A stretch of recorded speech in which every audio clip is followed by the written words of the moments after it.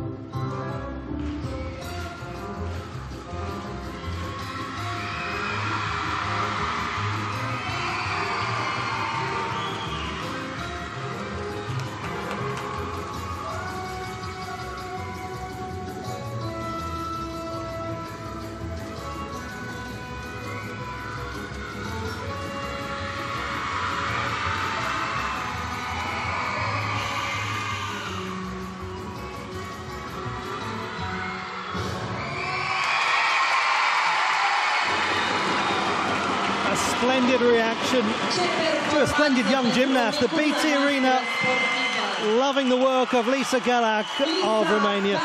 And I hope she takes just a moment to drink this in and look around and see what she has just evoked in the home crowd. just takes a moment there to tilt the head back. It is done. And done well, too. Her progress over the last 12 months or so has been uh, bordering on the meteoric. It's great to see. And it says a lot, doesn't it, when a gymnast is young, even for a Junior World Championship final. We've got 15-year-olds here. We've just seen a 15-year-old. Now we see a 13-year-old.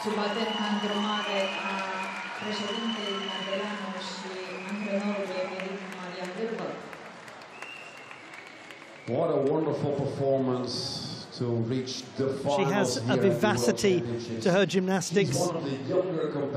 Her technique is getting better and better. Just as Romanian rhythmic gymnastics is getting better and better. Gentlemen might be quite busy today waving that flag around considering how well the competition has begun for Romania. Their group is also going to be in action later. We have the first of the group finals coming right up after this.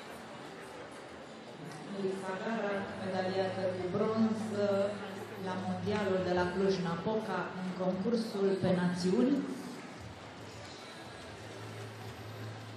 32 de țări au acceptat acest clasament, iar România este a treia